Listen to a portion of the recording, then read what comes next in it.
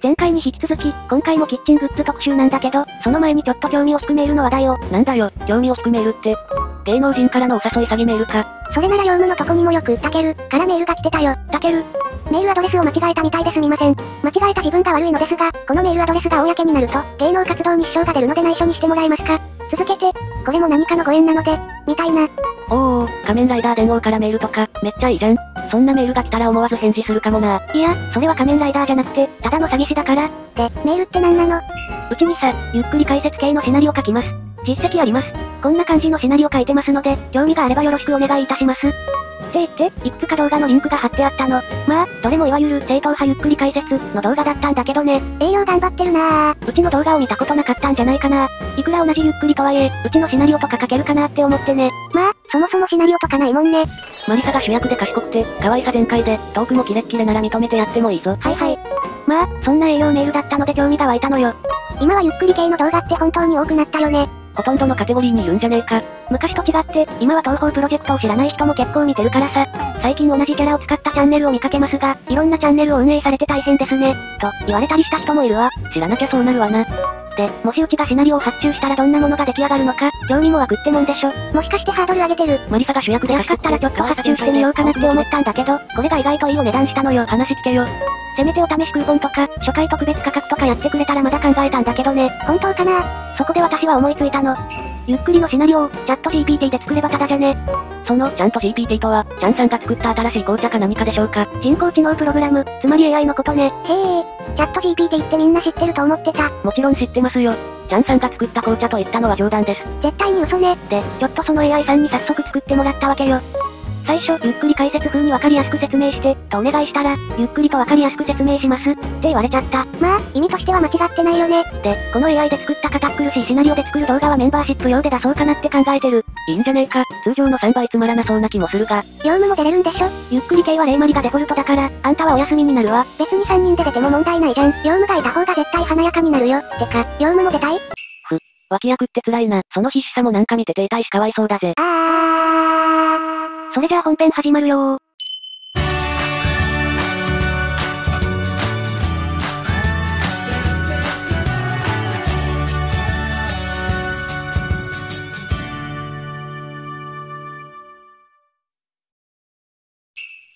さ今回も気合い入れて便利なキッチングッズを紹介していくからね。あ、この人前回の人とちょっと違う。今回のやつは真面目に料理してるじゃんよ。パート1で紹介した商品で、意外と反響があったのが卵割り機。あ、やっぱり筋肉撮影会してる。なんか楽しそうだな。ちゃんと聞いてる。聞いてる聞いてる。前回の動画のコメントで教えてもらったんだけど、サザエさんの中でこの機械が出てくるんだよ。へえ。これがさ、2007年5月27日に放送されたサザエさんの中で、父さん発明の母の回に登場するのね。全自動卵割り機ってなってんぞ。え、卓上用の全自動とかあるんだ。波平が買ってきたこの卵割り機をカツオが小馬鹿にするも、マスオさんがこの機械で割って作っただし巻き卵を。いやーうまひー。と、全力で波平に忖度する姿が全国のお茶の間に流れた伝説の回らしいわ。マスオさん、結構大変だな。同居って気を使うよねー。で、実際にあるのか？こんな全自動卵割り機って？ちょっと違うけど、こんなのはあるよ。究極の TKG。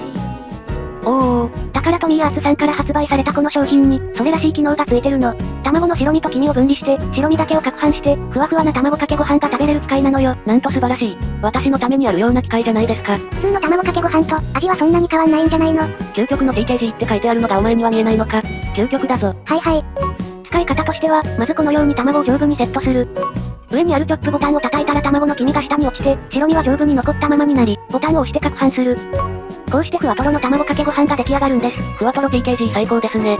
これもいろんな YouTuber が動画にしてるので、参考にしてみてはどうでしょうか。確かにこういったグッズは YouTuber 御用達って感じがするね。公式さんの動画では、この機械を使ったいろんなアイデア料理を紹介してたわ。超うまそうじゃねえか。すぐに試食の用意を。ありません。てめえ、いい加減にしろよ。毎回試食がねえじゃねえか。試食詐欺も大概にしろよ。試食詐欺って何よ。試食があるとか一言も言ってないでしょうが。確かに。そして、同じタカラトミーアーツさんの商品で、究極の MYO。MYO とはマヨネーズのことです。おー。ふわとろの手作りマヨネーズが簡単に作れる、こだわり派のあなたに送る究極の一品です。これは作りたい？さっきの TKG とは違って、これは自分で卵を割り、上部のカップに入れるの。そうすると黄身と白身が分かれ、そこにお酢や油などを入れて、別々で攪拌するのね。それぞれに攪拌した白身と黄身を合わせれば、ふわとろのマヨが完成するわけよ。ふわとろマヨ最高ですね。メレンゲ状になってるマヨでしょ。これはちょっと食べてみたいなこの究極シリーズにはこういった商品もあります。究極の NTO。NTO って納豆のことね。この商品は、納豆を究極に美味しく食べるために開発されたものなんです。それは私みたいな納豆好きにはたまらない商品ですね。ここに書いてある美食家、ロサン人って何？はい、作家、陶芸家、画家など、マルチな芸術家であった北大路ロサン人は、美食家でも知られています。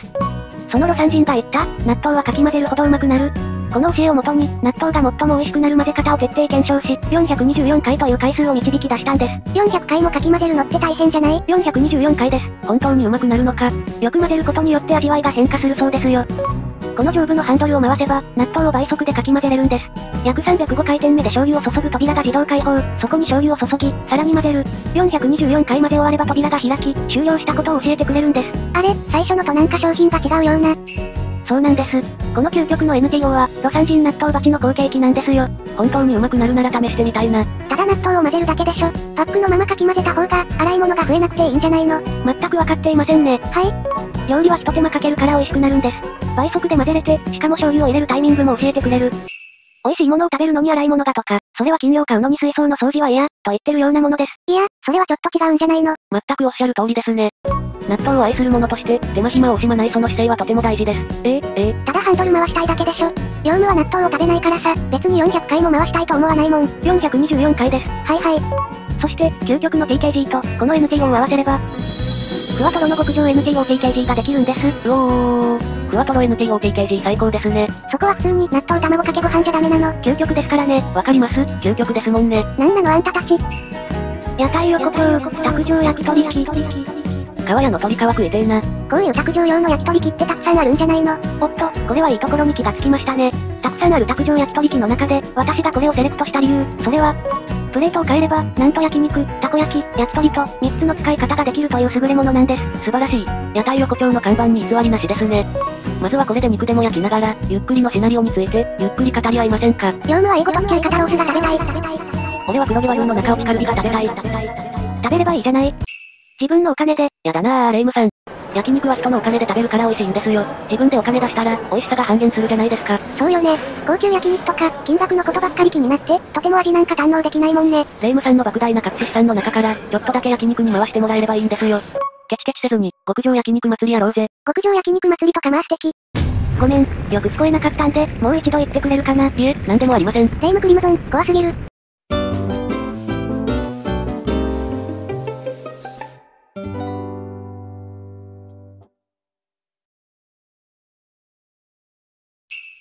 おむすびパンダ。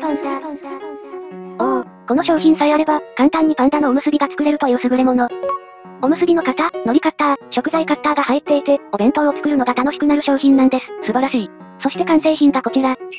おお、これは食べれませんな。インスタとかにガンガン画像をアップしたいよね他にもキティちゃんや、お化け、イルカやペンギンなど、いろんなおむすびセットがあるので、お好みでどうぞ。マリサのおむすびセットがあったら即完だな。業務のおむすびセットがあったら、予約で半年待ちになるかも。なんだと。じゃあ俺は予約で1年待ちだ。業務のセットは入手困難で、オークションサイトで10万円というプレネになる予定だもんね。てめえのなんざ1円セールで落札なしだバカ野郎。どっちが、ガおむすびにゃん。じゃー。なんて神々しいんだよ。まったくだわ。破壊力が半端ないもんね。あんたたち、さっきまでいがみ合ってなかった。いがみ合ってないよ。しちくり合ってただけです。いや、その言い方はちょっと。これらの道具を駆使し、いろんなアイデアで作った猫おむすびがこちら。おー、全部欲しい？このご神体は、全部神棚に飾っておかなければ。いや、ご神体じゃなくおむすびなんですが、おっと、そうだったな。反抗期のお子様を持つご家庭や、倦怠期を迎えたご夫婦など、ため息の日常が華やかになること間違いなしです。おっしゃる通りです。猫は誰も笑顔にするパワーを持ってますからね。倦怠期の奥様が、旦那のために猫おむすびを作るかは微妙ね。デコカレー。おー。この商品名はシンプルに、カレーをデコレーションするのでデコカレー。そしてこの商品でデコレーションされたカレーは、通常の3倍は美味しくなるでしょう。わかります。欲を言えば、シャア専用ザク通ご飯型も作っていただきたいものです。それ、食べたいって人いる余談だが、昔ガンダムカフェでは、前方の白いやつと、3倍から赤い水星のカレーがあったのだよ。証拠たくましいわね。なんか色々とやってんなこのように、カレーやシチューを中に入れるタイプもたくさんあるんです。ご飯で作ったキャラをさらに見立ててんのか。これは子供が喜びそう。さっきのおむすびセットの応用で、セット内容はほとんど同じですね。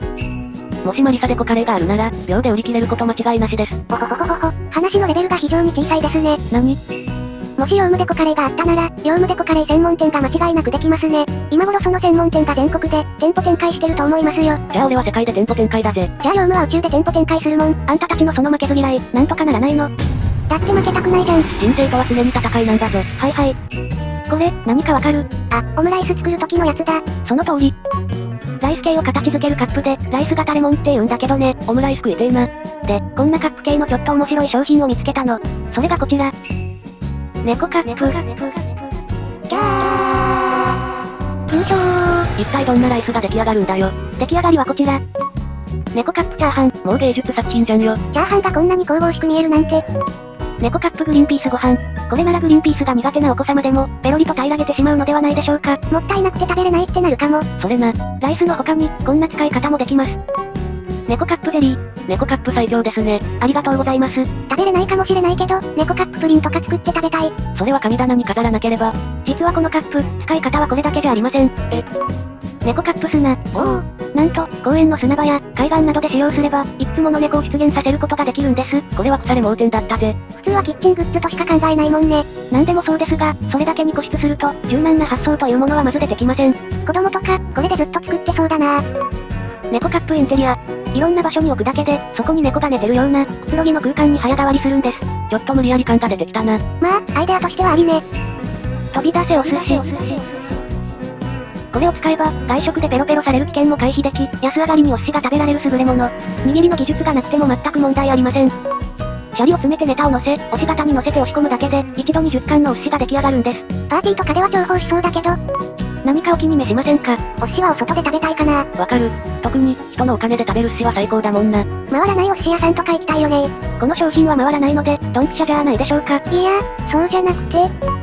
おじいさま、おばあさま世代には特におすすめです。お孫さんと楽しむ寿司パーティー、お盆やお正月が楽しみになること受け合いですよ。考えただけでワクワクしてきませんか？あいつ、俺らが興味なさげなんで、ターゲットを絞って攻めつけてるぞ。うまいなぁ。お家でカンちゃん、握り寿司トリフ。先ほどの商品とは違い、一貫ずつ作る職人カタリナ、こだわり派のあなたにこそ手にしていただきたい商品です。これだったらさっきの方がいいんじゃない ?10 貫もまとめて作れるし。お孫さんを驚かせ、おじいちゃんすごい、と、戦望の眼差しを受けること間違いありません。話聞いてないし。もう、完全に高齢者にターゲットを絞ったな。使い方は至ってシンプル。トングでシャリを掴んだら、もう勝手に握りが出来上がってる。あとはお好きなネタを乗せるだけです。トングで掴むだけなので、出来上がりスピードも速いし、手を使わないので清潔だし、何より簡単なんです。どうですか？欲しくなったでしょう？いや、それほど。孫が遊びに来た時これをこっそりと使用し、わしは昔、寿司職人だったんじゃよ。と、寿司職人になりきってもいいし、最初からこのトングでお孫さんと、お寿司作り共同作業で盛り上がってもよし。あなたとお孫さんの架け橋になるこの商品、まさにプライスレス。完全に高齢者に全振りだな。商品を紹介してるだけなのに、詐欺師っぽく見えるのはなんでだろう？ちなみにシリコン製で、16巻まとめて作れるものもありますので、そこはお好みでどうぞ。色々とあるんだねベビーカステラメーカー。これは、卓上でベビーカステラが手軽に作れる商品なんです。ベビーカステラってあの屋台で見かけるあれか。そうです、そのベビーカステラです。ベビーカステラ美味しいよねこのベビーカステラを作る商品はいろいろあって、こんなプーさんの焼き印がつく商品とか、おお、他にもスヌーピーやキティちゃんなんかもありますよ。ベビーカステラ機、いいじゃねえか。見てやされ、食べて幸せになれるとか最高ね。ありがとうございます。たい焼き、たい焼き、たい焼き。お、うまそうじゃん。誰もが人生で一度は手にしたことがあると思われるたい焼き。誰がタイをモチーフにした焼き菓子を作ろうと考えたのかうまけりゃどうでもいいだろ。誰が考えたとか分かってもさ、美味しさが変わるわけじゃないもんね。そんなこと言ったら身も蓋もないでしょ。一口サイズのたい焼きなので、中にいろんな素材を入れて、楽しむことができるんですよ。あ、いろんな味が楽しめるのは嬉しいかも。大きいサイズだと、あんまりたくさんは食べれないもんね。俺的には大きいサイズでがっつりいきたいのだが。そういった方には、キャンプでも使えるこちらの商品の方がいいかも。それはアウトドア女王の私の血が騒ぎますね。近所の公園で、よくサンマの七輪焼きなんかを楽しんでるんですよ。えっと、近所の公園でサンマを焼くのはアウトドアとは言わないと思うんですが、近所の人の目とか全く気にしてなさそう。みんな欲しそうな目をして遠くから眺めてるぞ。それ、多分違うと思うよ。ポップコーンメーカー。誰もが人生で口にしたであろうポップコーン。その歴史をたどると、なんと紀元前3600年頃にはすでにあったという痕跡が見つかっているそうです。業務はキャラメル味が食べたい。俺は塩バター味が食べたい。少しは話を聞きなさいよ。歴史とか聞いてもお腹は満たされねえぞ。普通のゆっくりではね、ここでがっつり説明が入る場面なのよ。うちは普通じゃないじゃん。何を今更普通と解析してるのか。たまにはそういった知的なものを散りばめながら、ゆっくり解説っぽくしない、考えとくよ。何回りくどい断り文句とか使ってんのよ。柔らかく断る高等技術だぜ。何風立てないで断るテクニックは、世界中見渡しても日本人にしかできないよね。日本人にしか通用しないけど。確かに外国人相手なら考えるって言ったでしょ。って言われそうだもんな。その話ってポップコーンと関係あるかな？ないね。じゃあ次。肉球ケーキメーカー。おー。簡単に可愛い肉球ケーキがたくさん作れる優れもの。いろんなアイデアを駆使し、あなただけのオリジナル肉球を作ってみませんか？作る作る。業務的にはチョコたっぷりで作りたいなメープルシロップにナッツ系をまぶして食べたいぜ。いい商品じゃないのこれだよこれ。なぜこういうのを最初から出さないんだよ。さあ、それはどうしてだと思いますか？質問を質問で返すな全く失礼なやつだぜ。いや、そんなに怒らなくてもいいんじゃないのジョジョファンなら既婚だわ。キラさんに怒られるぞ、知らんがな。